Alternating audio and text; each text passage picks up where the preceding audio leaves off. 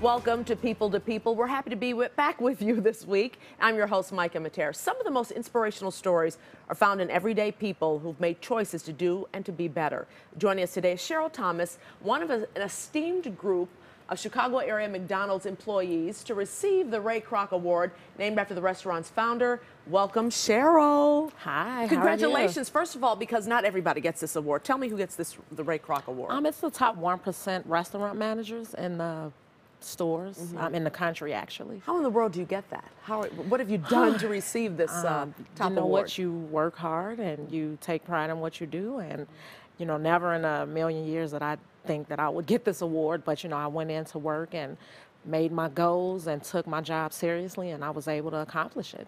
When did you so. start working for McDonald's? Ah, 1994. What, what did you do when you first started there? You know what? I was a crew person. I started off as a crew person. Um, I was a teenager. I graduated from high school. I had no real path of where mm. I was going. I didn't know if I was going to go to college, go work, and I went to McDonald's and it's it's it history's was, been it, made. Yeah, it's been made. Give me an idea. You've pretty much gone up through the ranks, right? Yes, I have. Yes, yeah. I have. So I started off as a crew person, and um, I worked for um, an owner operator who came to me personally and said, "Oh, would you like to be a crew trainer?" Which was the next level. Mm -hmm. And um, she saw something in me that I didn't even know I had in myself, and I'm like, "Wow, this is great!" And it was just so much structure there, very family oriented, and it was just such a great opportunity um, and I just took it and just ran with it. This is kind of like, you know, people who start at McDonald's, maybe mm -hmm. flipping burgers or something like that, yep. said, this is about all I'm going to do.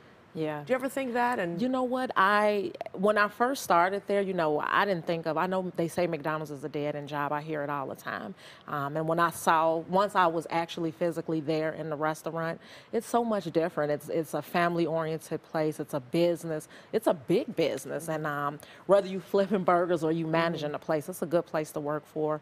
Um, I never thought that it would be a career for me, but as I started seeing that I was really good at it. Um, I don't know, it's just, I feel like I was put here to do that job because I'm good with people and managing and, you know, leading people. So it just actually worked out for me. Kind of opened up your mind though, too. And I think it has to do with the person yeah, themselves. A lot of does. people will make it a dead end oh, job. wow. They but will. I don't think you thought that, no, you? I didn't think that at all. Mm -hmm. I just felt like, wow, I'm, I'm pretty good at this. So I just stuck to it. I mean, a lot of times people kind of give up on stuff or they listen to what other people say. And I've heard from so many people saying, oh, you work McDonald's.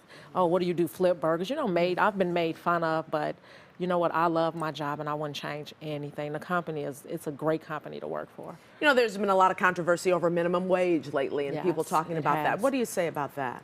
You know, I, I can't really speak to that um, because people are going to feel the way they feel about what people should make and I just, you know, hopefully they resolve it. Um, and that's all I can really say about because that you found a lot of, uh, you know, I'm, you're not making minimum wage, of course, oh, not of anymore. Course I'm not. No, I'm not. You've you moved know, on. I've made minimum wage in my life, and I knew that if I didn't want to make minimum wage, that I had to grow and do more, and I did more. And I mean, sometimes people feel like, you know, you can go in and do the minimum work and you're going to make the maximum money, and that's not what it's all about. You got to work hard to get any any place, anything you do in life, you got to work hard. What do you say to people who are there, and you know, they they how do you inspire them? Because you are a great inspiration. You know what? I just like to I like to let people know my story. Um, I see people. I'm in the um, position to help people, so when I do see people that don't really know where they're going, I kind of tell them my story. And I'm not saying that I try to make everybody a McDonald's manager because it's not for everybody. Right. But what I do try to let people know is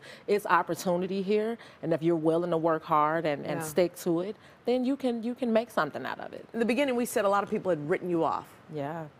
Tell a lot of people, that. you know, when I was younger, like I said, I was not on the right path all the time, and uh, my mom did the best she could do, and I kind of, um, you know, got off path a lot, and people just was like, you know, she's going to end up this way. You know, people always have a perception. Right. Of they label they, you. Yeah, they label mm-hmm. you, what they think you're going to be and how you're going to turn out, especially when I started working at McDonald's and I'd be walking down the street with my uniform on and people would be looking at me like, yeah, that's it for her. And, um, mm-hmm you know, it was sad. It was a sad time in my life, and many times I wanted to give up because what other people said about me mm-hmm. or thought about me, but I didn't, and look at me now. So You have to find it from inside, don't you? you have to find it from inside. And quickly, tell me what you got with your Ray Kroc Award. It's pretty, pretty prestigious. Oh prestigious. wow, yeah, I got a, I think it's a, I got a five thousand dollar bonus, which was huge. Wow. I got a beautiful ring, a pen, a jacket.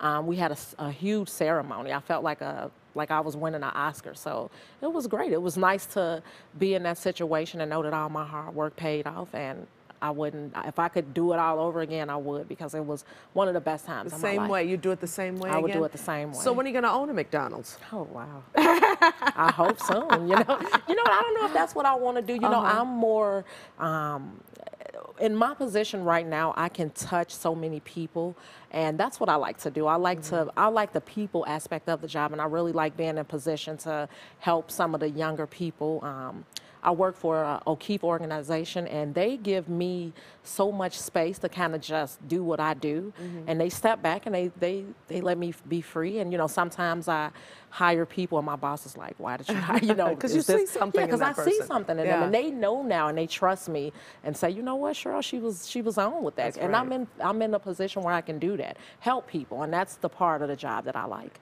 McDonald's has found a gym in you, Cheryl. Yes. Thank you so much. Thank you. And congratulations. All right. Thank you so much. Appreciate it.